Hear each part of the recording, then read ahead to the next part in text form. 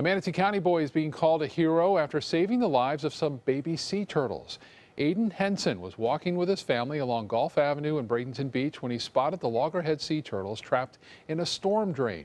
The four-year-old immediately jumped into action, notifying a wildlife rescue group and FWC. Together, they came out to lift the heavy storm lid and get those turtles out. There were four of them inside.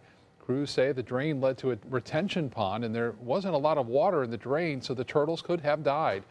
Wildlife officials say Aiden is a hero for spotting them and suggest he may be a wildlife rescuer himself when he grows up. He's off to a great start, that's for sure.